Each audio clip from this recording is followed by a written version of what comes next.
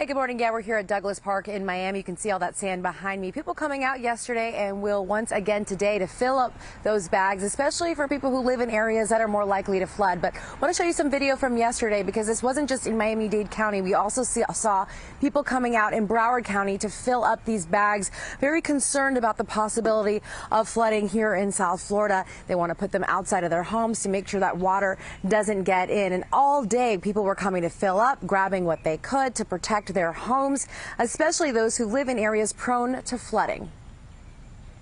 All this street right here, that all looks like a lake. It just doesn't drain well anymore. No, it doesn't drain well.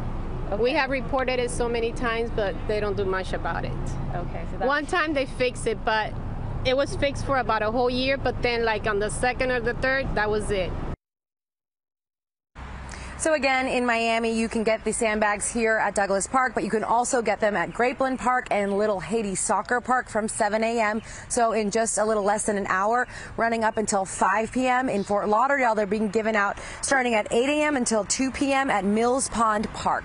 And today we are expected uh, to hear from FEMA during a joint press conference with the National Hurricane Center. We're expected to hear an update on the storm as well as the potential impacts. Of course, as soon as it happens, we'll let you know. We're in Miami Live this morning. Teri Hornstein, CBS 4 this morning.